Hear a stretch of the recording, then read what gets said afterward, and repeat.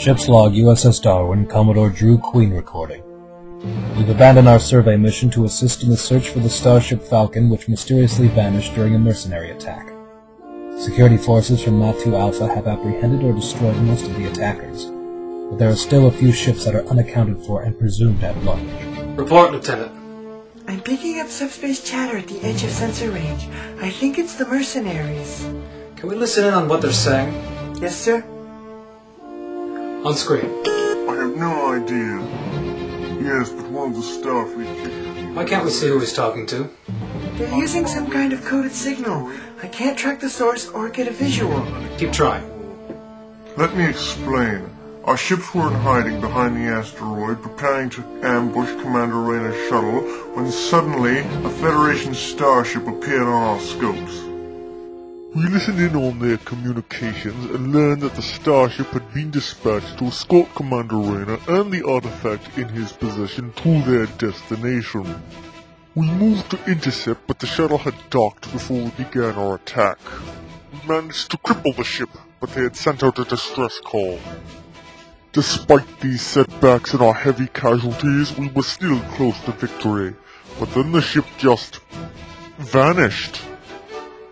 The artifact was left adrift in space, but as I said, one of their shuttles beamed it away.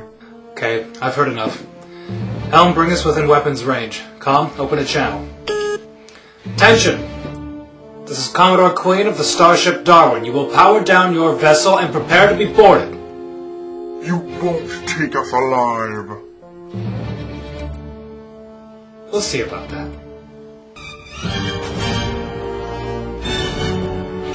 Fire.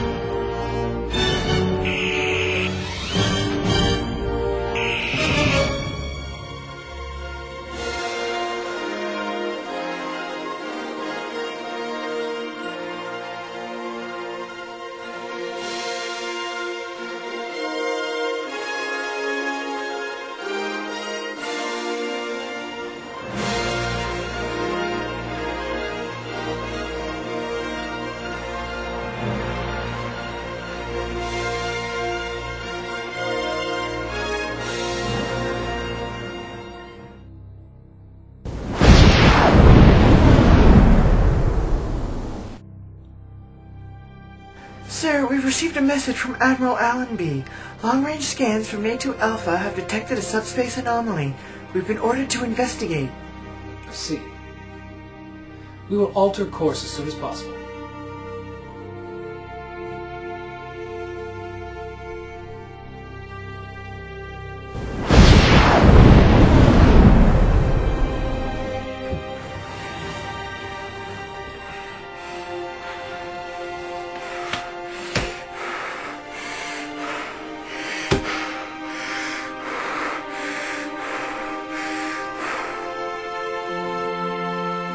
Space.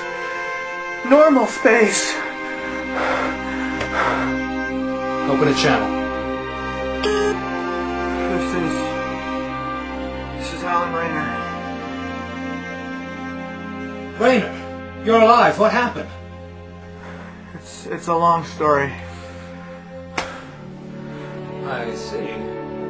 Suffering from radiation exposure. Need treatment. We can run you through a full decontamination. Th- thank you. Energizing. Tow the ship back to Natu Alpha.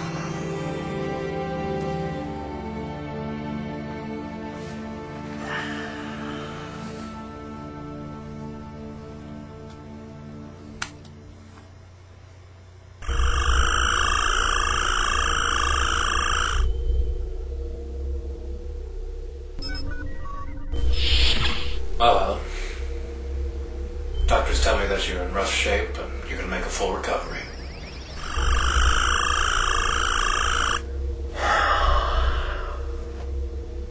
I guess that's good. Well then. There's a lot of people out there who have many questions wanting answered. Ganth Ministry, Admiral Allenby, Governor Schuster, even myself, we're all just wondering what happened out there. I guess the whole thing began over a year ago, right after I left Outpost 3. Hold it, Commander. You haven't been gone a year. You've been gone only four months. What? What? I, I, I guess, I guess time must pass differently in that dimension, but what? Relax, Helen. Just take it slow. Start from the beginning. Right. So, I had just left Outpost 3. I had that, that, that artifact with me. You know, the, the one Bolovax tried to steal. The Heaven's Key. And legend said it could open a portal to the afterlife. Starfleet wanted to protect the artifact, so they sent the starship Falcon to transport it the rest of the way to NATO Alpha. Captain Nond asked me to stay on board to help with security. Turns out they needed it. There are too many of them. Send out a distress call. We are losing life support. All hands abandon ship. While most of the crew headed for the escape pods, I headed for the science lab to save the artifact.